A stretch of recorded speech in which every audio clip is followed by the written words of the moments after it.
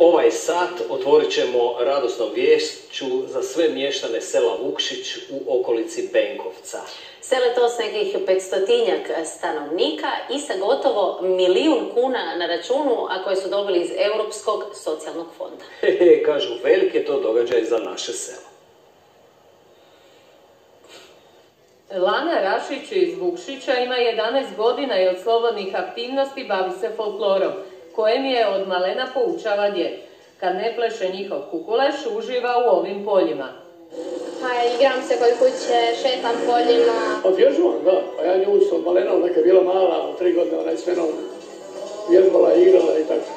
upravo da bi djeci Vukšića bilo osigurano više slobodnih aktivnosti, Europa financira projekt Vukoval, idućih godinu dana. I došli smo do ideje Vukoval. E, Vukšić e, je nositelj dakle, e, ovog projekta, bal je nekako lopta i sam bal ples, pa smo spojili Vukoval u Vukšić ples nogomet.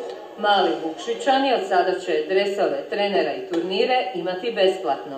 Ja mislim da je to izuzetno važan projekat da se dica educiraju u sportskom smislu i da se kvalitetno sportskom opremom opskrbe i da su, jer tu je razlika, neki roditelji mogu osigurati treninge, neki ne mogu, a ovdje će sve biti besplatno.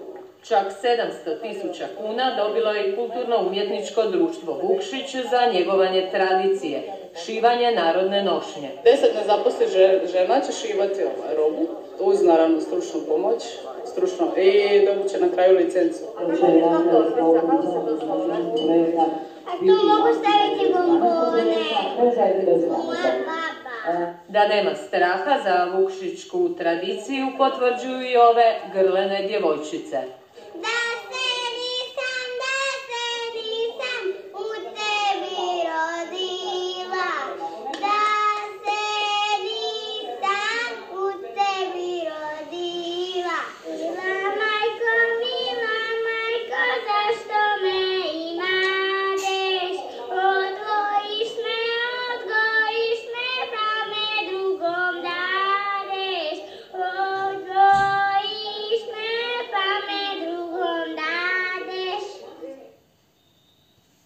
sláďenému, že?